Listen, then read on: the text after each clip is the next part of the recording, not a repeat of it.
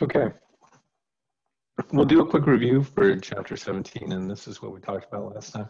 So it's a little, again, it's kind of abstract, and I uh, spent some time in our previous class devoted to connecting these uh, abstract concepts to more familiar concepts from physics one, like gravitational potential energy. And then tonight we're going to talk about capacitance and storing electrical energy too. So essentially the idea that we come with is that when we talk about electrostatic potential energy, it means that we have stored energy, stored electrical energy. And just like if you lift up a rock, then you do work in lifting the rock, you do work against gravity. And that gives it potential energy. And then if you let gravity take over, gravity will take that potential energy and do work and give it kinetic energy.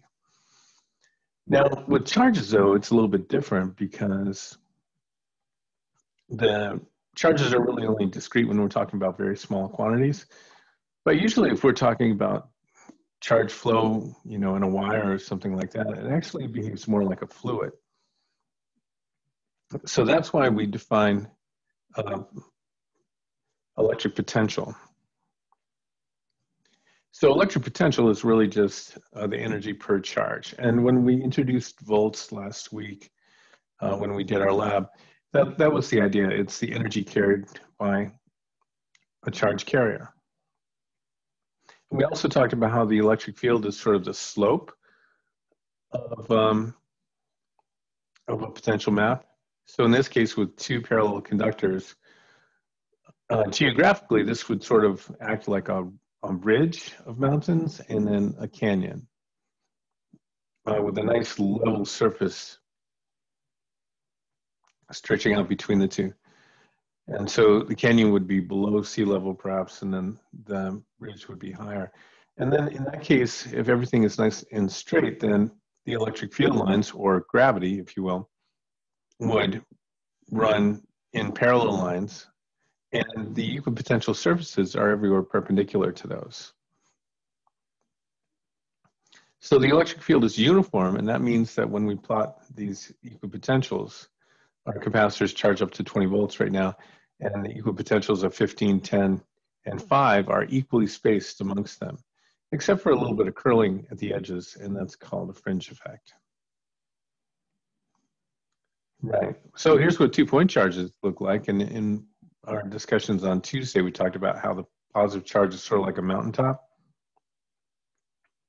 And the negative charge is like a hole in the ground. And the red lines, the electric field lines, show you the path that water would flow if it was trying to run between the two. And then the green lines are equipotential lines, or like a contour map. So it's important to understand the difference between two charge distributions like this. Parallel plates create a uniform electric field between the two, but isolated charges do not make a uniform field. And the potential goes as KQ over R where the electric field is the negative slope of, of this plot.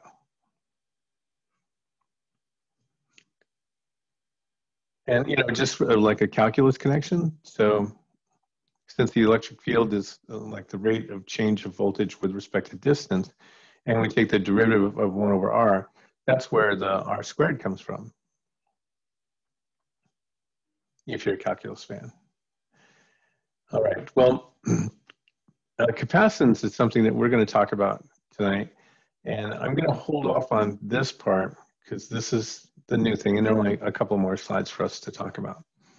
What I want to do is I want to go and take a look at energy storage with you for a little bit. And here's what that looks like. So I'm going to open up our agenda and then take a look at a couple of uh, of examples. So starting off when, when we pay for electricity, we've already made the point that, um, that a joule is a very small unit of energy. And you personally use a lot of electrical energy during the course of a day because you really don't have to you know, keep an eye on it too much. We live in times where electrical energy is ridiculously inexpensive. And that's actually one of the obstacles of uh, renewables, is because renewables have quite a bit of uh, capital outlay in order to get them to, to start um, harvesting electrical energy. So let's take a look at a typical battery right here. And so this is called a Sun Xtender. Uh, this is a battery that's designed for charging and uncharging. A typical car battery is not going to do very well uh, being charged by solar panels because um, what your car batteries are used to doing is they're used to providing a tremendous amount of electric current to turn the starter of your car, but then they uh, they're not used very often and so they never really get depleted all the way. They never get lose their charge all the way. Because um, if that does happen, then we have a problem. So typically, you could uh, discharge a car battery all the way down to zero, and then charge it back up, and then maybe you get one more full discharge out of that, and then after that, the battery's all done. So that's just the nature of its design. But batteries that are designed for uh, solar power are used to being discharged and then charges charged back up again. A place where uh, you typically see batteries like this would be in RVs or boats. Um, so they're called marine batteries, and they're they're designed to be discharged and charged back up again, hundreds and hundreds of times. And so that's really convenient for solar power. Now, this particular uh, battery says it's rated at 42 amp hours for $161 and it weighs 30 pounds. So let's see, uh, how much is the energy that's stored in here worth? I'm going to go to the whiteboard and, uh, and take a look at that. So I'm going to stop sharing and change my camera. Well, look at who's here. Hi, everybody.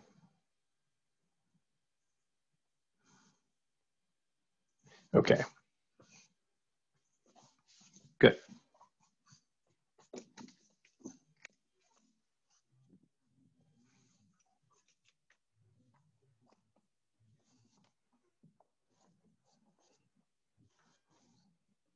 So here's our little battery. Got two terminals.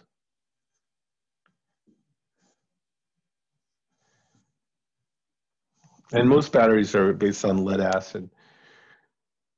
so this is a classic oxidation reduction reaction that's happening inside the battery. And that involves two metals that are involved in some kind of exchange. So the lead acid uh, batteries, they have a potential of about two volts per cell.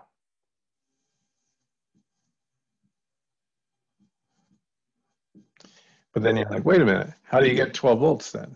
So we put a voltmeter on here and connect it up, and that says 12 volts. So that means we already saw this when we did our, our lab last week, that when you put batteries in a line, then the voltage increases. So a 12 volt battery actually has six cells in it. so this is uh, what we get for lead acid.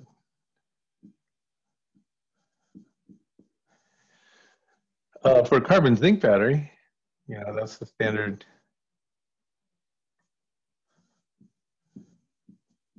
battery that we use. Then we get about 1.5 volts per cell.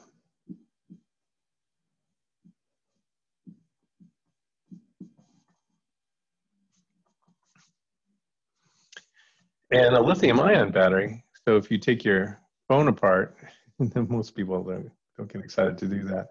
Yeah, it's sort of like this thin package. And that would be a lithium ion battery.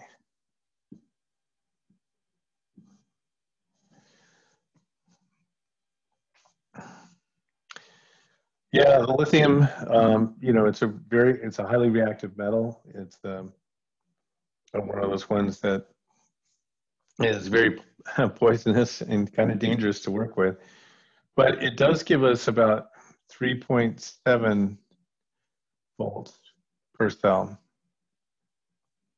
which is pretty high. And so I think that's right.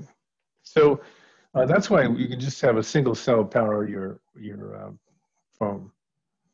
Now, this Sun Xtender is rated for,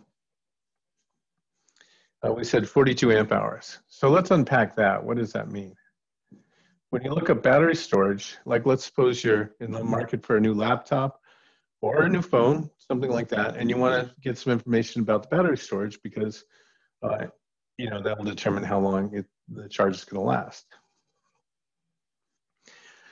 So as you're shopping around, you want to pay attention to something that's called amp hours. And uh, let's let's go ahead and work with this. What what is an amp hour all about, and how does it relate to kilowatt hours? So this, if we break this out, this is amps and this is hours. So this is actually, in terms of variables, uh, this is equal to current, and this is equal to time. Is that big enough for you to see? Okay, good. So amperes is the unit for current. Hours is obviously the unit for time. And then of course we have V up here.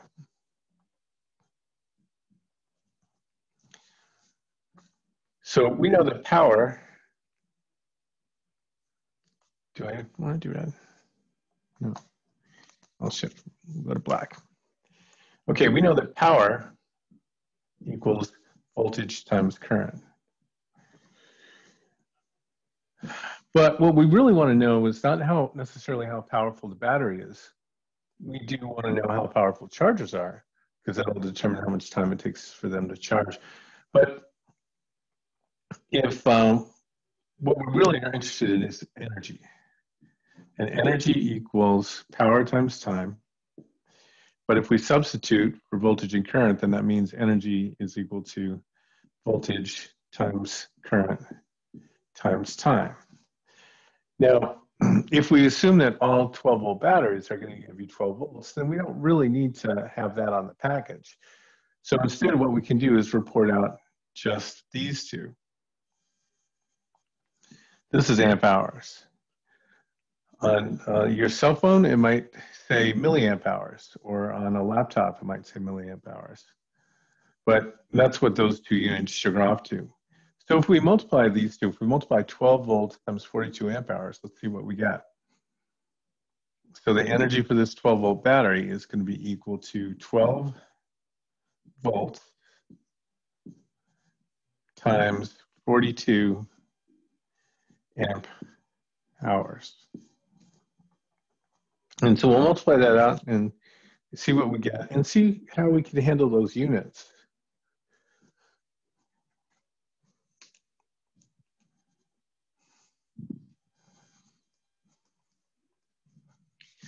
Okay, so that gives me 504. And again, the units. So we're going to have 504 volt amp hours. Now, a volt times an amp is a watt. So this is 504 watt hours. But if we want kilowatts, then that's equal to 0.504 kilowatt hours.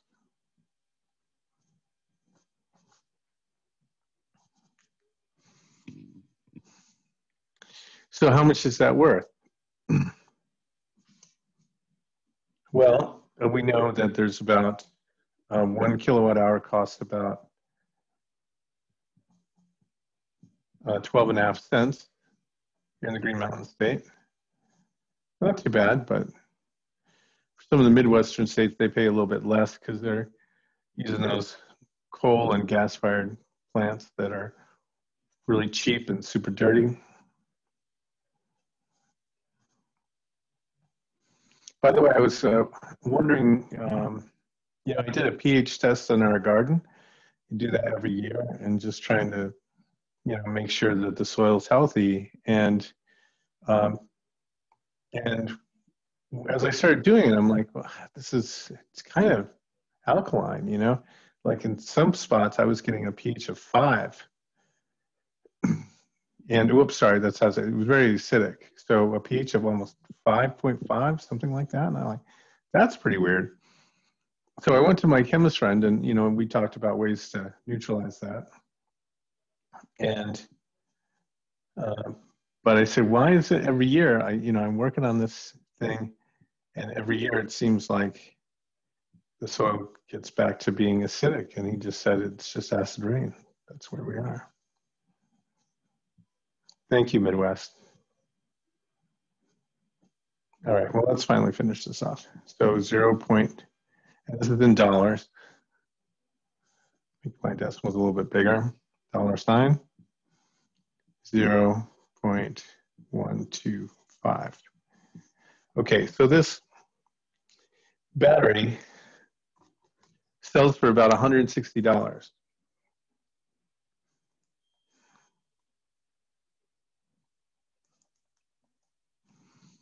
Yeah, interesting. So when I multiply this out, I multiply these two numbers together, then I get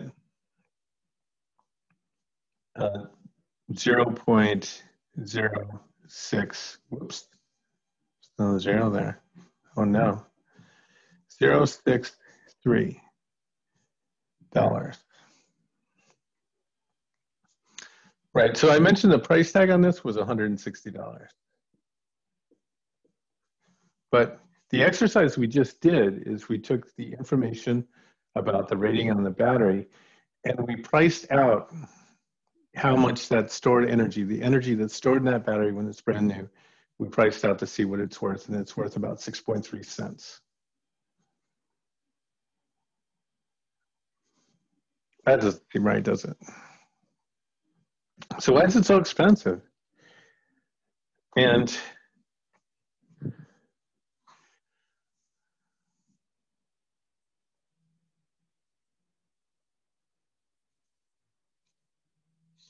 How's my audio? My headset just said I was disconnected. Does it sound far away?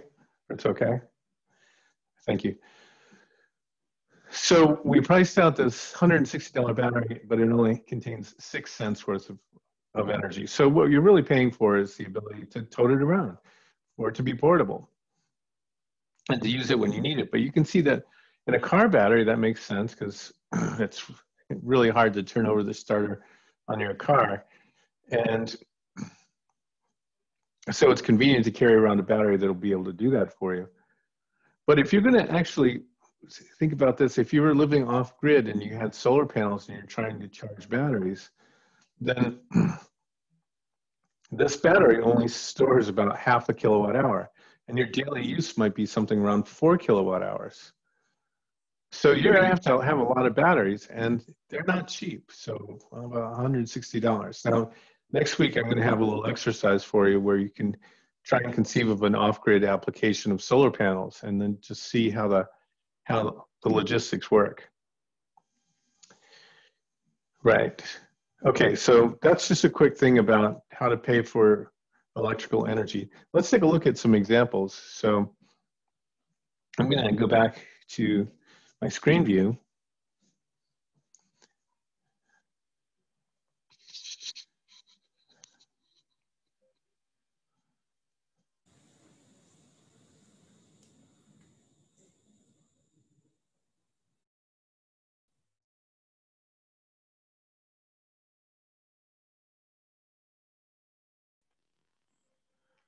Go back to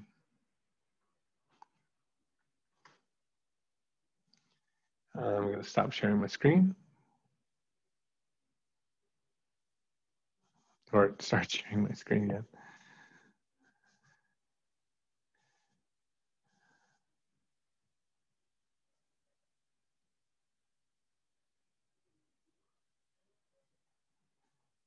Okay, and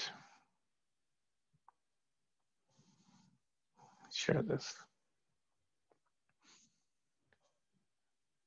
So as I mentioned before, um, Green Mountain Power would really like you to get one of these.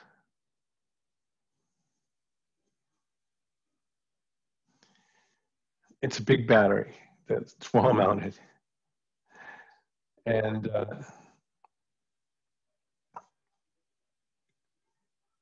so they have a special package now. You can get two Powerwall batteries for uh, the small price of $5,500. And it's just a battery that sits on your wall. What's that all about?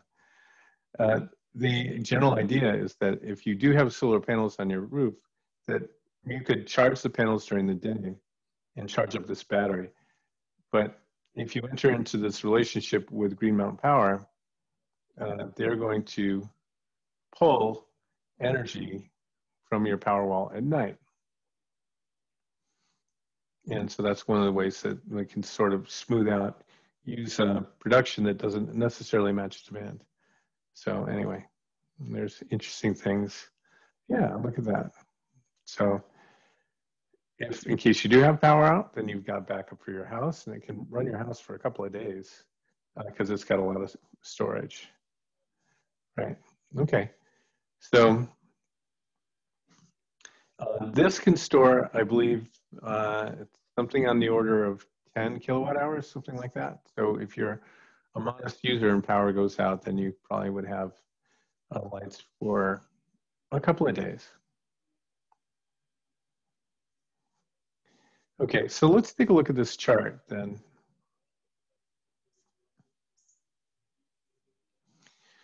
So if you've downloaded the PDF, that's great. Uh, if you um, if you're just sort of playing along at home, I, I want to show you how this math works. Right. So um, so let's take something. I put in a few things here. So the, the idea is how much does it cost in order to do these? And I can do a total down here as well. So a cell phone charger, about five watts, is going to probably take about a little over two hours in order to charge your phone. Okay, so let's do this then. Uh, power, sorry, this should say just kilowatts. So in kilowatts, five watts is going to be 0.005. And then you're using it for about a little over two hours per day. Uh, in order to get to the monthly use, then we're going to multiply that by an average of 30 days a month.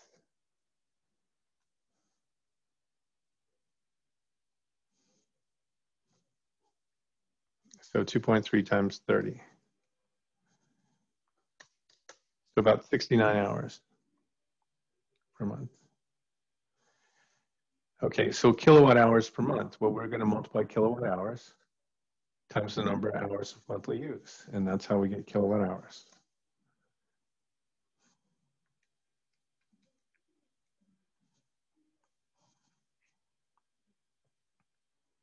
And that's um, 0.345.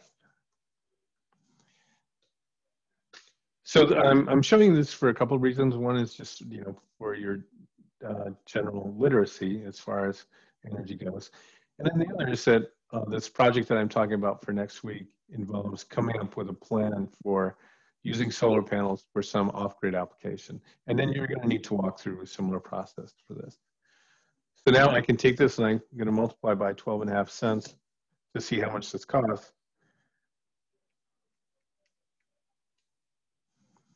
And our monthly cost is about uh, 0.043 dollars. So about four cents to charge your cell phone a month. And then there is um, there's sort of like a urban myth about what happens to your charger. And I'd like you to just kind of uh, unmute for this because I'm, I'm curious to see if you've heard this before. But if you leave your charger plugged into the wall when it starts charging your phone, that is still using electrical energy. Has anybody heard of that before? Yes, I have. I've yeah. heard it's bad for the phone battery for some reason too. Can you say that again for the? That like it's supposed to be bad for the phone for some reason, but I, I don't understand like how that. when they're not touching, There's some kind of like telepathic bullying going on. No, like if you leave the phone plugged in but it's fully charged. Oh yeah, yeah. Well, so it depends on the the charger and the phone itself too. So when the phone is um, is really low, then it's going to ask for a lot of current and to charge quickly. But then once it gets up to like 90% of its full charge, then it's just a trickle. So, uh, so no, it's not really bad to just leave it plugged in. And, uh, and the so-called ghost current with your charger plugged into the wall and um, and you know, is does it still use energy? That's a six pound miniature poodle. Um, anyway, it's a myth. So I actually, I, I, took a charger apart and I said, I need to get to the bottom of this. And I, uh, so I did some measurements on the charger and I, I did the math and altogether, I think it's something like the total cost to your electricity bill over the course of one year would be about half a cent. So the same thing is true with power strips that are left on that little LED if nothing's plugged into it, but you leave the power strip plugged in. They don't really use any current to speak of. Uh, so that's not, we're not going to save the world by, by uh, worrying about whether your cell phone charger is plugged in or not. All right. So yes, your cell phone essentially is free. How about a laptop? Let's take a look at that. So uh, 130 watts uh, this is just based on the laptop I'm using. And I looked up its specs. And so that's 0.13 kilowatts. And it takes about 1.2 hours to charge. And so if I multiply these two,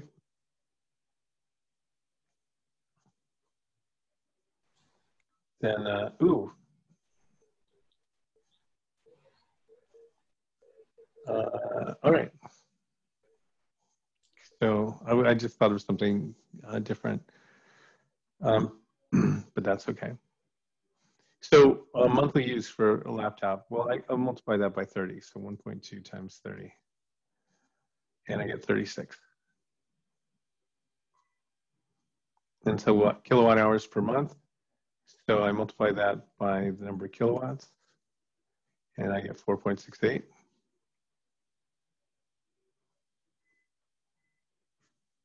and then multiply that by 12 and a half cents. And I get still a decimal. So about 59 cents a month. I don't know, are you surprised by that? I'm always surprised by that. So using a laptop is really a great way to go. Um, if you wind up using a monitor, so in case occasionally I set up a dual monitor and I've got, a, you know, it's a TV um, then that's going to use uh, more electricity. But just for your laptop, really, it's pretty much free. But now let's take a look at these two. So here's our refrigerator. And let's just do this really quick. So the refrigerator is coming in at about 0.3 kilowatts. And then the microwave is coming in at 1.5.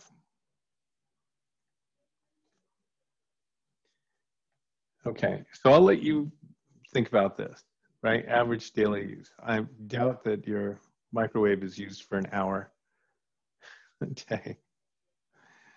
So let's see if you, you can come up with a decimal for this. And then go ahead and extend it out. And the reason why the refrigerator is only on for eight hours a day is because it's not on continuously. Most of this has to do with the compressor, you know, when we looked at uh, heat engines. And so the compressor cycles on and off. And so typically the compressor's on for about a third of the day. Depends on how many times you open the refrigerator door, right? So if you don't open it very much, it's going to be a much smaller uh, number. But if you have a roommate who seems to need a snack every 15 minutes, it could be much higher. Okay, let's see if you can uh, fill out the rest of these numbers.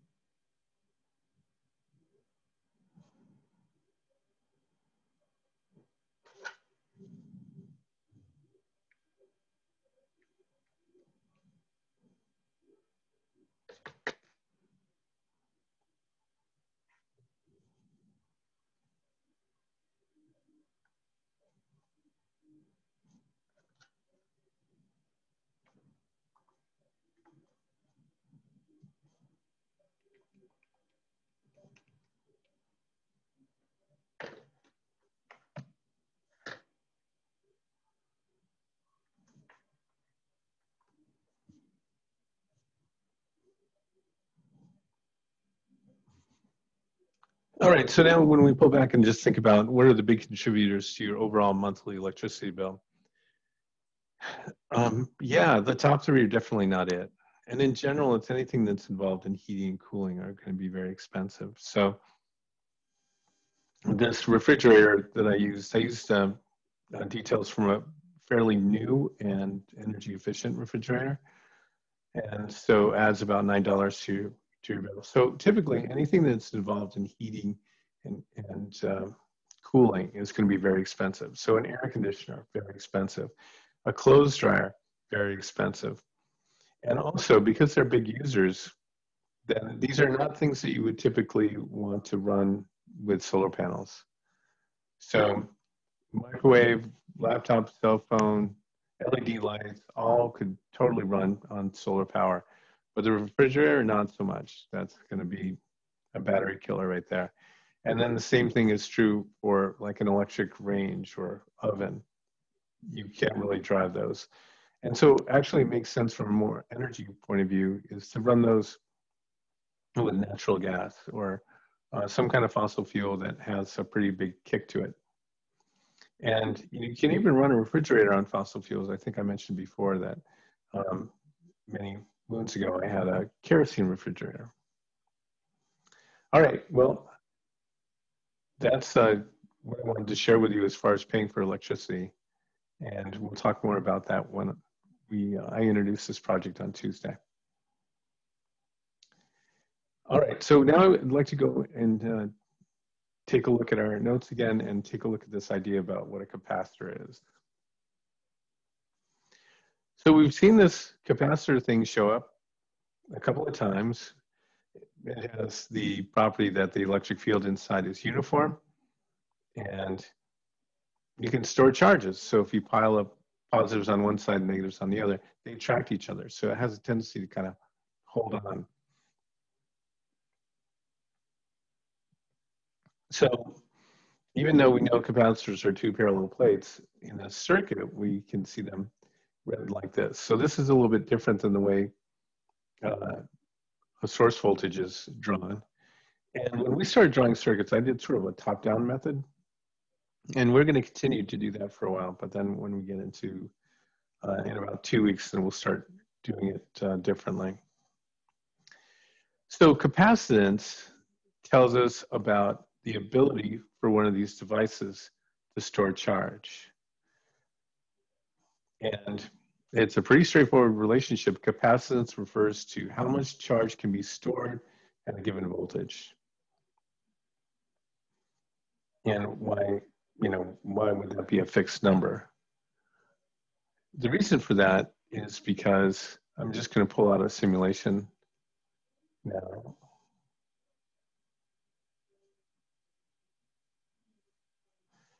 And um, here's a basic idea of a capacitor.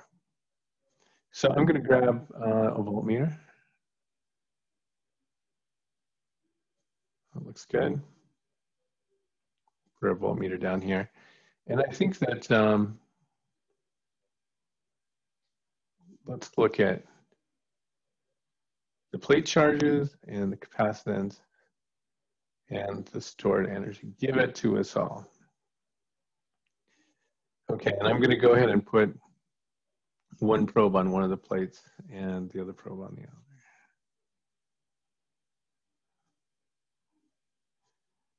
Okay, so this is a 1.5 volt battery, so I'm going to turn it all the way up.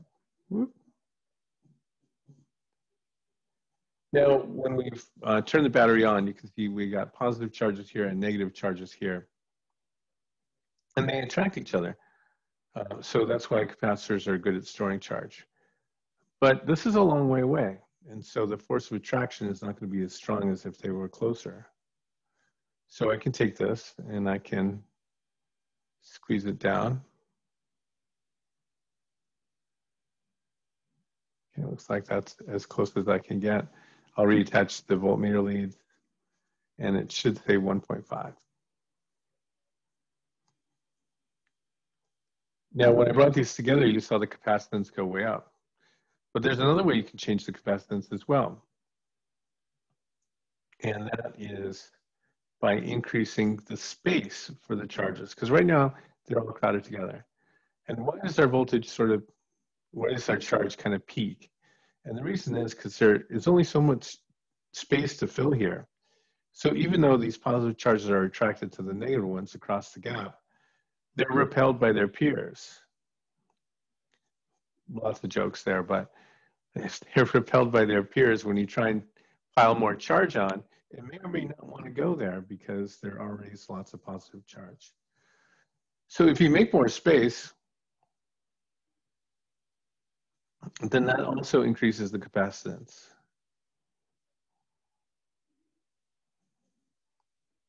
All right. Now let's take a look at a dielectric. And so we'll do the same thing. We'll have our voltmeter out. And we'll do stored energy and plate charge and capacitance. Now, I don't want to make these smaller. What I want to do is look at the difference between having this out and having it in.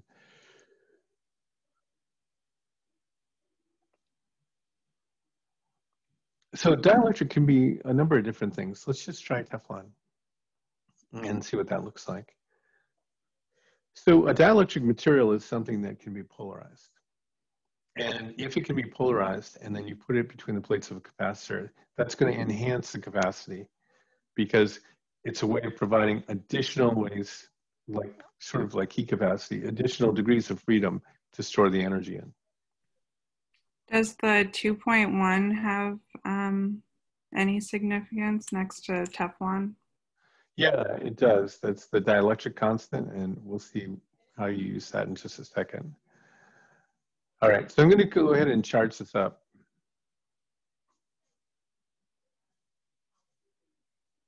And then let's go ahead and slip this in. So you can see that with this uh, thin layer of Teflon, that it can be polarized. So these molecules in the Teflon got rotated, twisted, and that took energy. So that, that's a way of storing more energy. So let's just take a look. The stored energy here is 2.09. I take it out, and it drops to one. So dielectric can help store energy. You even see charge flow. Okay, great. Now, what if you have multiple capacitors? Okay, let's see, two in series.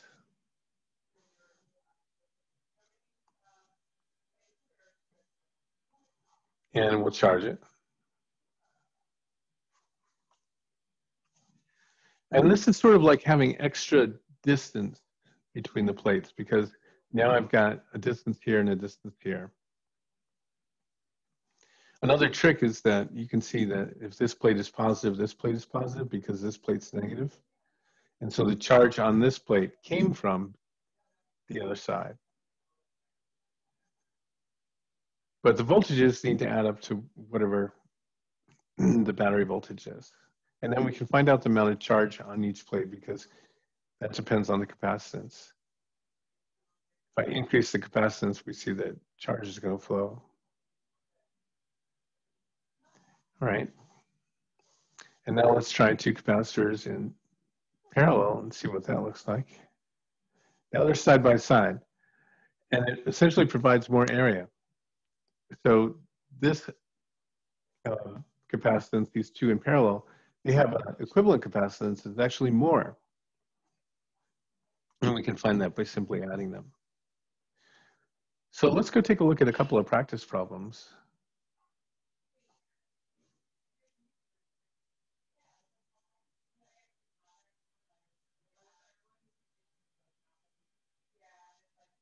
Just three of them.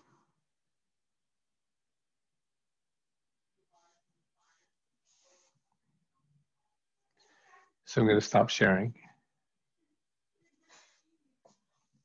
and hit the whiteboard again.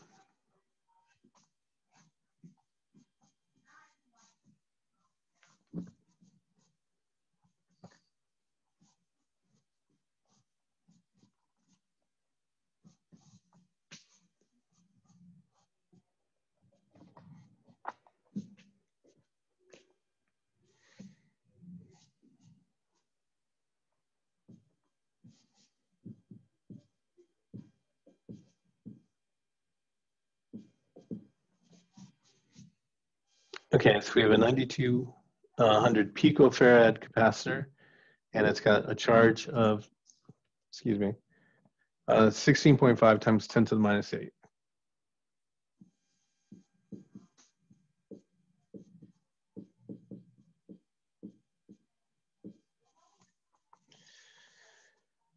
And we want to know what the voltage is.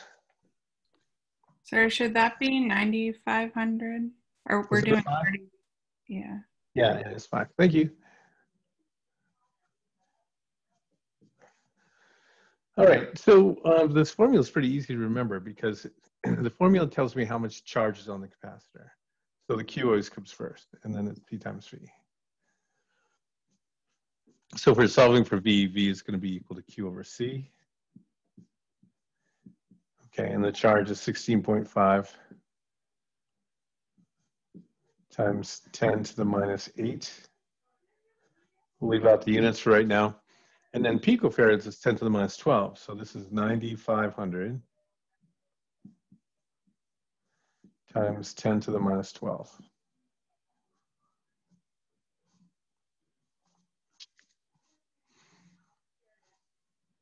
Let's try and take a guess about what we're supposed to get for an answer. Uh, this is around 10, and so the numerator is 10 to the negative 7. And then this, well, this is almost 10 to the fourth, so that's 10 to the minus 8. So we have 10 to the minus 7 divided by 10 to the minus 8. So it, it's going to be like 10 something. So that's always useful just to kind of rationalize uh, what the math is going to look like. And that'll help you recognize if you wind up making a mistake.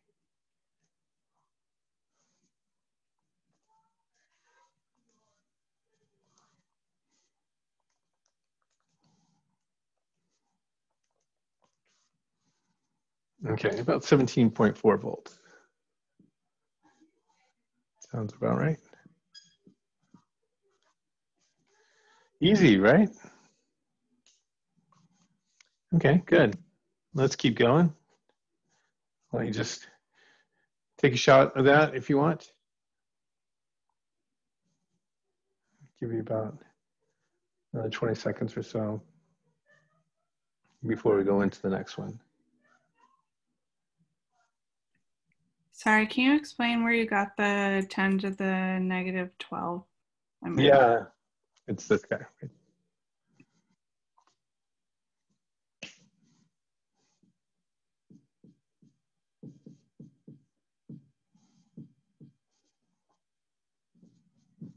It's the next step after nano. Millimeter, micrometer, nanometer, picometer.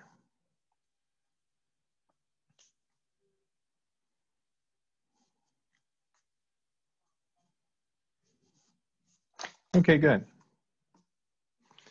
So let's take a look at the next one. And this involves a battery charging up a capacitor.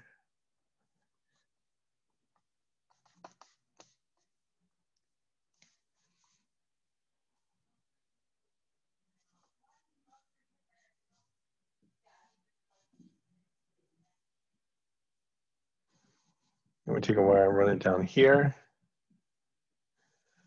Take a wire and run it down here.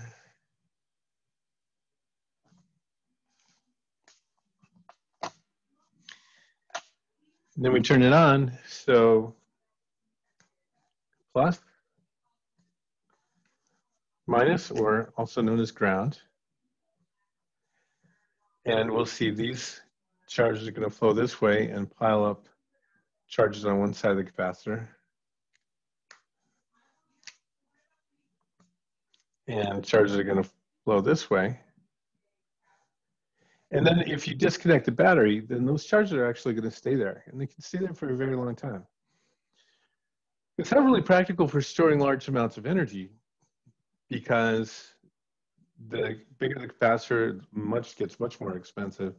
And they're not really um, set up to hold large amounts of charge. But what they are really good at is sort of being a backup, like a filler. Like for instance, one uh, example of a capacitor's use is in uh, stereos, where really big speakers and the speakers will draw a lot of current intermittently, and then a capacitor can be available to help provide extra charge.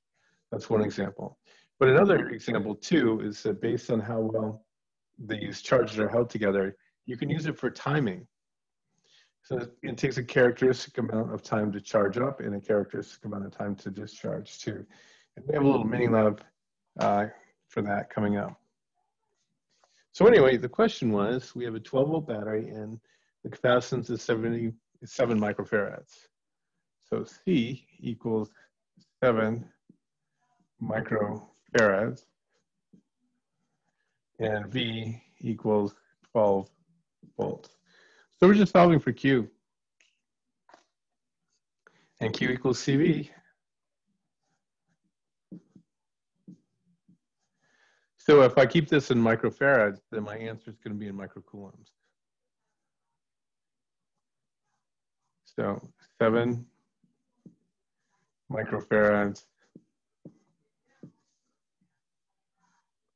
times 12 volts. And so that's 84 microcoulombs.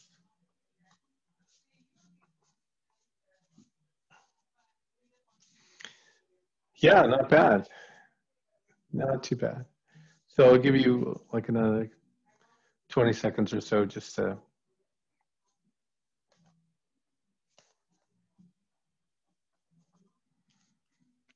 just to be thorough.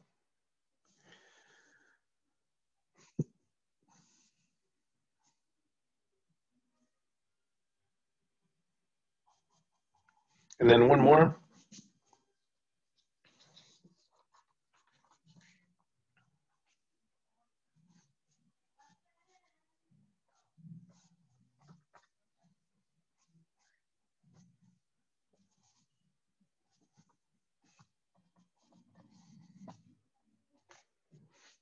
And what we've got is a capacitor with opposite charges of 5.2 microcoulombs on the plates.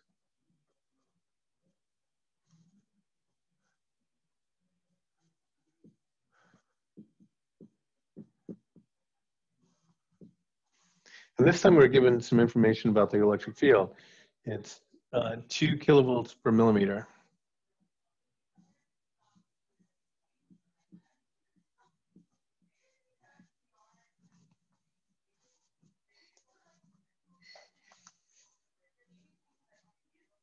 Uh, they want to know what the distance is.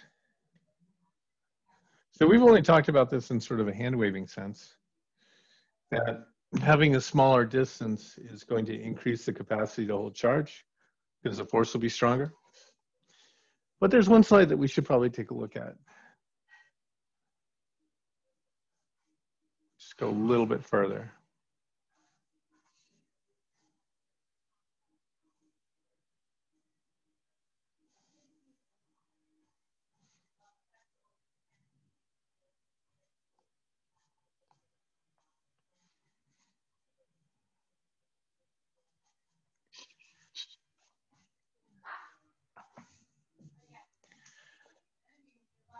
So here's our formula for how you can calculate capacitance based on its geometry. So A, cross-sectional area. Make more space, you get more charge. D, if you make the distance further, then the charges can't attract each other as well. So, so we can't, um, can't pile on as much charge either. And then we have this, this epsilon naught. I just want to make sure we're at the end. Right, so epsilon naught. Well, let's do a little, investigation. We'll go out to the internet and then we'll type in permittivity of free space. There we go. Whoa. Okay, so that's what epsilon naught is. And 8.85 times 10 to the minus 12. But those are some crazy units, isn't that?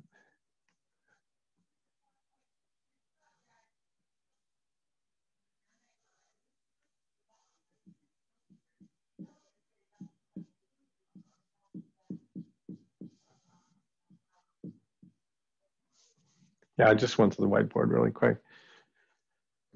But those units are nuts, aren't they? That's amperes squared seconds to the fourth power divided by kilogram meter cubed.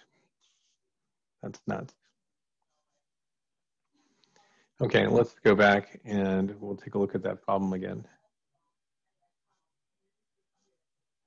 So should you need to calculate the capacitance based on geometry, it's going to be equal to epsilon naught times A over D. But is that really um, necessary here? I mean, we're asked to find out what D is, which is the separation between the plates. And I've got D here, but I don't know anything about the area, and I don't know what the capacitance is either. But for this one, we can kind of think about what the electric field means. And so we already know that electric field equals, whoops, batty. minus delta V over delta D. So it's the negative gradient. But of course, um, let's drop the deltas here for a second. And we can even drop the minus sign too, if you want. So this is going to be a V over D in an absolute value sense. And then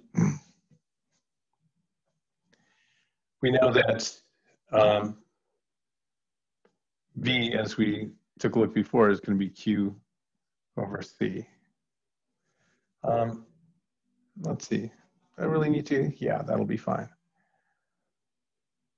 All right, so our electric field is V over D, and then I do this substitution.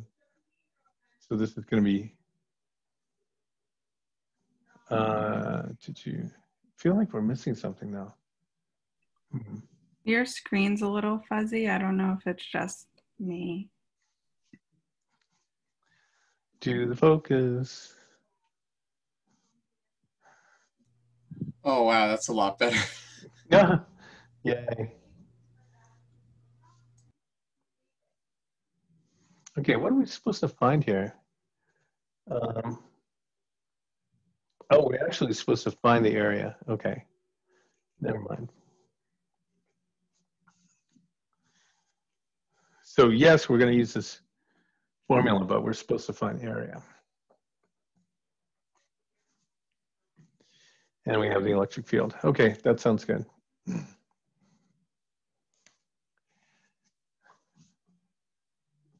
So if I rearrange this, I know about the electric field, so I want to be able to use that. I don't know what the voltage is though.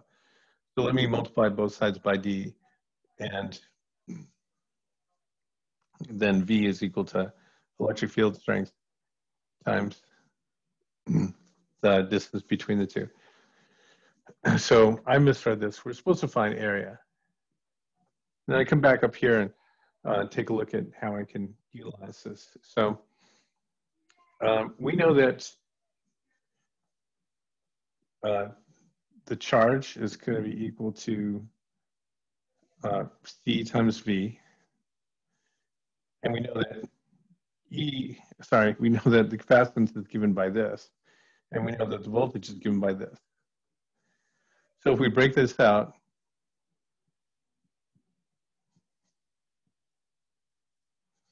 then this is going to be equal to epsilon naught a over D. And then the voltage is the electric field strength times D. Yeah, and there's a little bit of cancellation here. So the D's cancel out. And I know the electric field. I'm trying to solve for A. I know what this is now, and I know what Q is. So if I rearrange this, and again, this is Q here, and I'm solving for A, I'm going to divide both sides by E and epsilon naught. So area is going to be equal to Q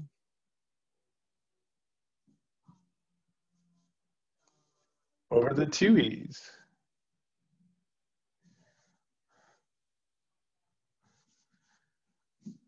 Right, so 5.2 microcoulombs, so 5.2 times 10 to the minus 6.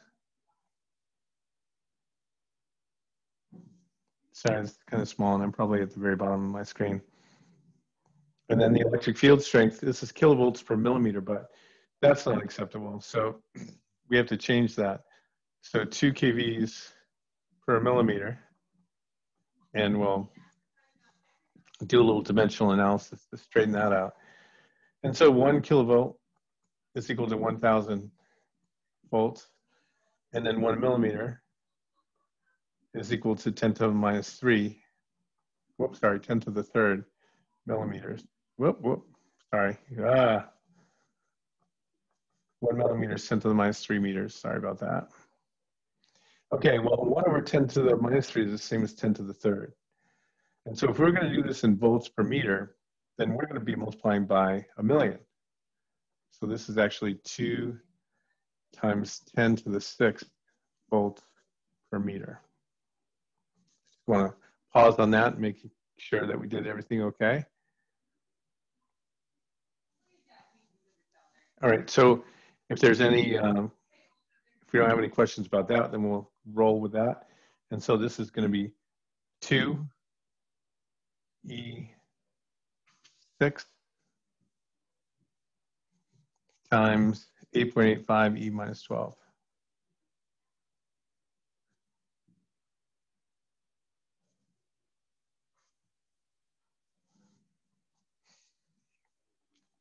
All right, big numbers, little, very small numbers. Let's see what you got. So if you wouldn't mind, why don't you um, once you get a number, why don't you pop it in the chat?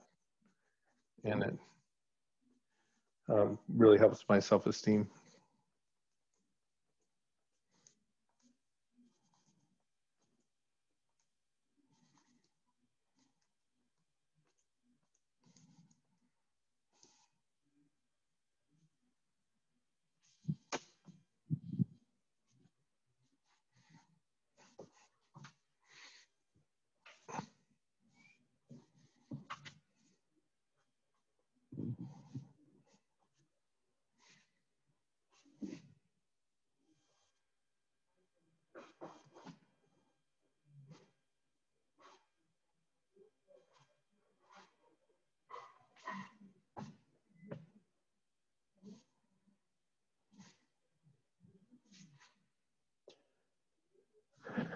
Yeah, I'm just taking a look at the chat right now. Marion, I'm sorry, I, I missed it, your question. It must have been from a while ago.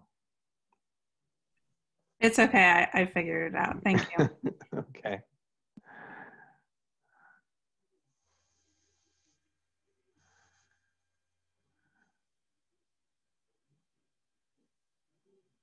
All right, so if you get a number, why don't you throw in the chat?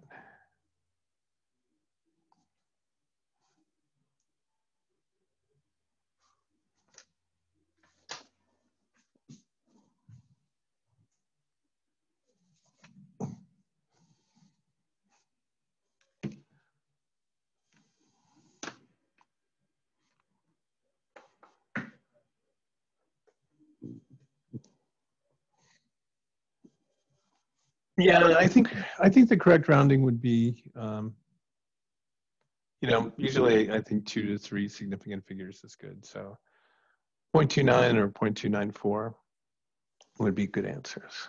So, wow, so that math wasn't too hard. It's going to be a breeze to do the questions.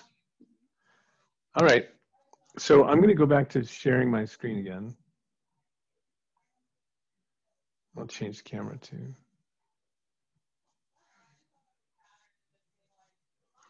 All right. And I'm going to go back to taking a look at the agenda. And I'm going to ask you to do something on a browser.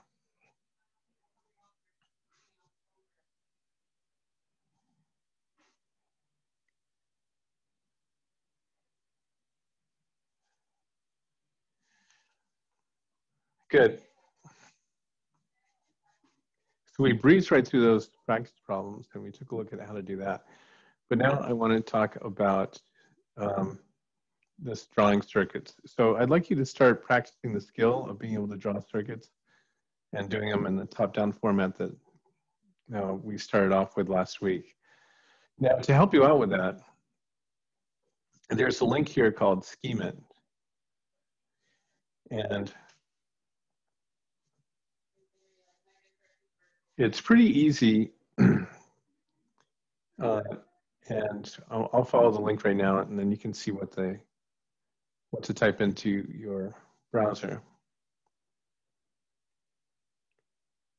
Okay, so this is it up here, and I'd like you to try that now. So DigiKey is an electronic wholesaler, but they have this app that's uh, free to use. So it's digikey.com slash schemeit slash project slash.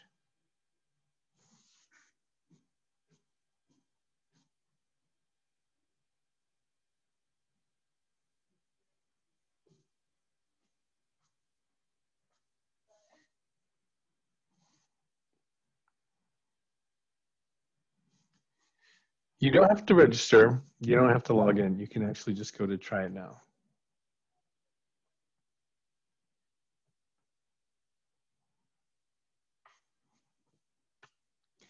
And we're going to use this platform to do some simple circuits. It's up to you whether you like the grid or not. I'm going to turn mine off because I'm going to ask you to copy and paste the circuits that you build into a Google Doc. And now I'm going to go grab some schematic symbols.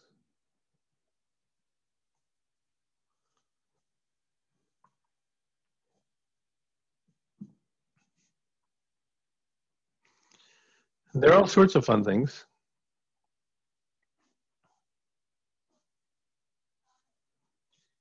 Uh, but I'm going to grab a voltage source, and you there are several different ones that you can use.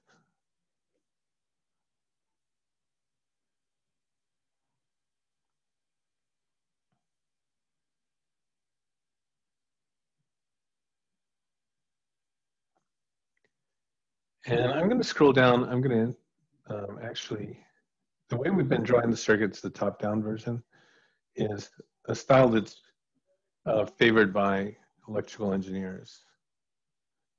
And I like it because, from a teaching point of view, is because it shows um, the idea about charges losing energy as they as they go through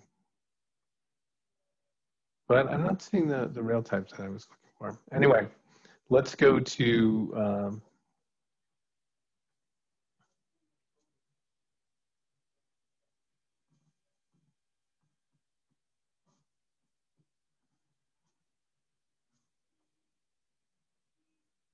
passives. And there's a capacitor. We'll come back to that later on. And let's use a, um, let's grab a resistor, pull that out. So it's labeled R1, that's fine. You can turn on the name if you want, if, you, if I click this checkbox. And then it just says resistor, but that's probably gonna get kind of cluttered. And let's grab four of them.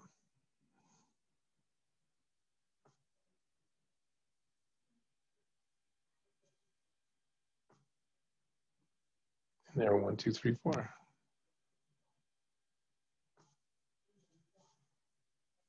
And what I would like to do is I'd like to examine the different ways that we can connect these together.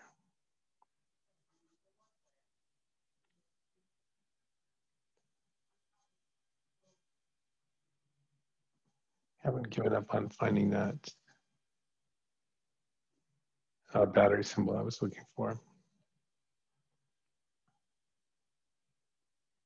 Okay, so here we go. I could certainly do them all together. And I believe that this is snapping to a grid, so I could put them next to each other.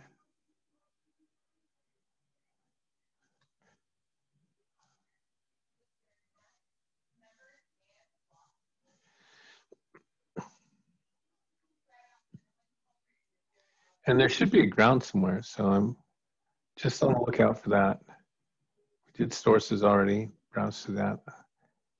It might be the fact that you get more options if you log in, and that might have been where I saw that before.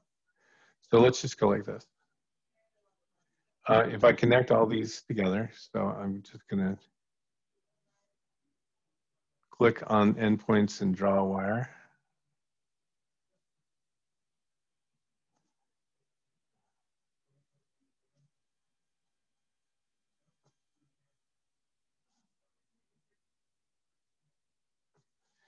Okay, so this would be parallel.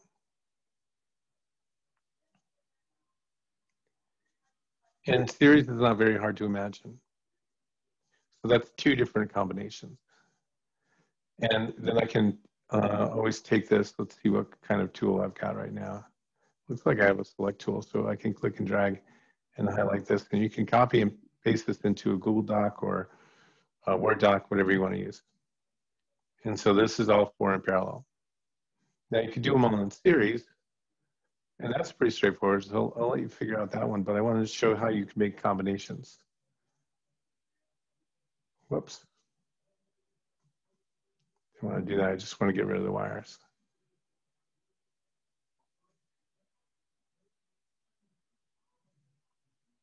Okay, good. Now, what would a combination look like? Well, I could have two in parallel. And then the other two in series.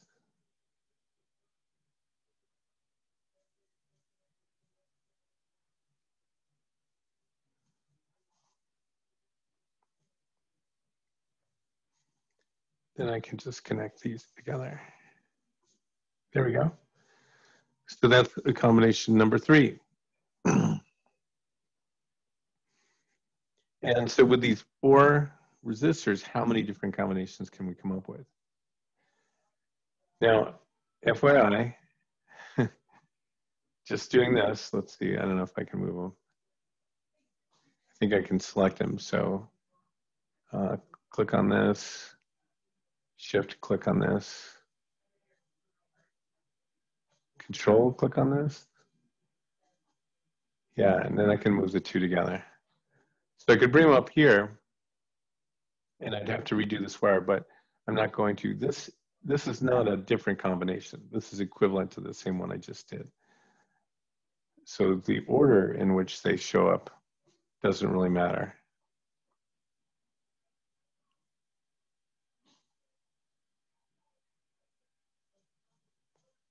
All right, so what would be a different combination then?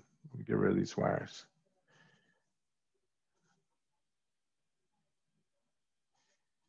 Well, I could do three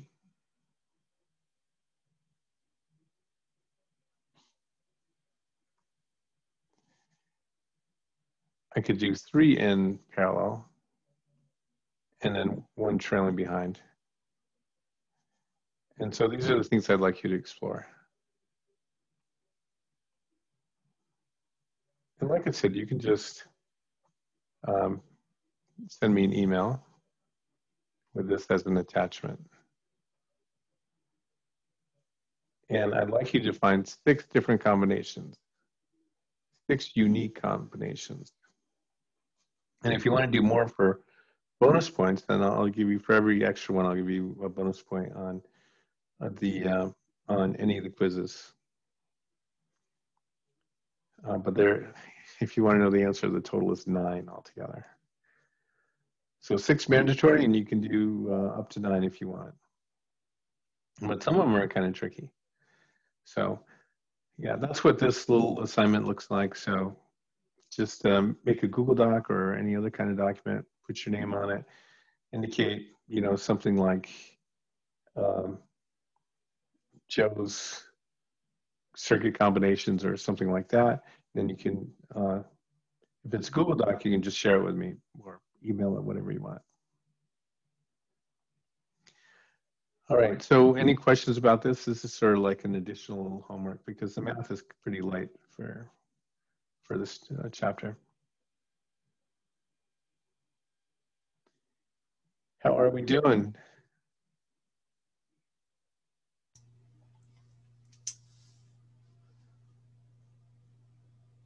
Okay, thanks, Beth. All right.